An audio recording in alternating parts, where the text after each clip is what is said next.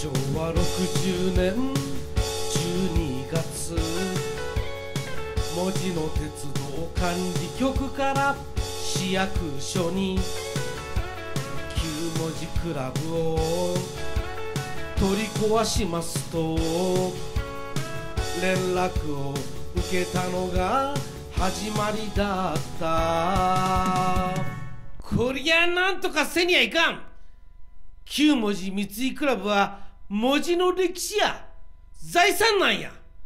絶対に残さにゃけれども建物を残すにも金がいる。100万市民の大切なお金なんだから使うからには役立つようにと。末吉市長は思い悩んでた。関門の流れが変わってきたようだ。大きなうねりが押し寄せてくる。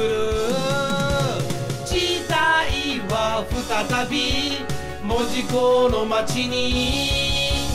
救いの手を差し伸べてきた。ふ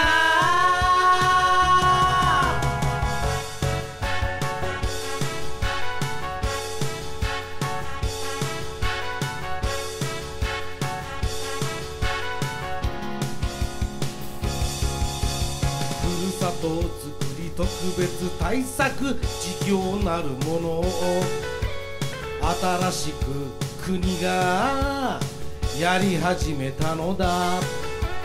地方の特色を生かした企画には国が援助しますよと言ってきたのだ。よっしゃ!これやこれや!これを利用せにゃ !9 文字三井クラブを駅前に移して観光に役立てるんや!そやな。昔の建物がメインになるからレトロ文字工事業としようか。この町を人の集まる観光地として再浮上させるんや。栄町近天街が動き出した。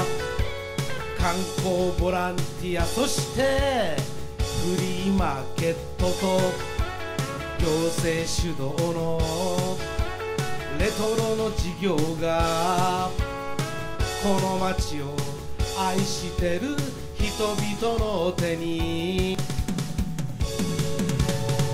関門の流れが激しくなってきた大きな一つの道が現れて時代は再び門司港の街に希望の光を差し込んできた。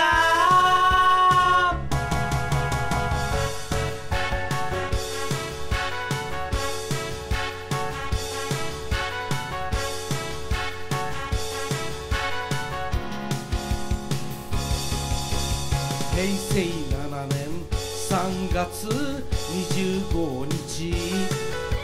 文字工レトロが華やかにオープンしたのだ。雨降る中で末吉市長は駅前広場でスピーチをした。皆さん再開発にはコンセプトが必要なんです。門司港の再生はレトロでいこうといち早く決めたことが幸いでした。もし門司港の経済力が活力を持ち続けていたとしたら効率一点張りの再開発によって歴史的な建物は姿を消していたのではないでしょうか？いろんな意味でこのレトロ門司港事業は幸運に恵まれていたんです。時代の流れはこの街に向かってる。時代はこの街を見捨てはしなかった。時代は再び文字工の町が必要なんだと言ってきたのだ。時代の流れはこの街に向かってる。時代はこの街を必要としている。時代は再び門司港の街に。輝く夢をもたらしてきたのだ。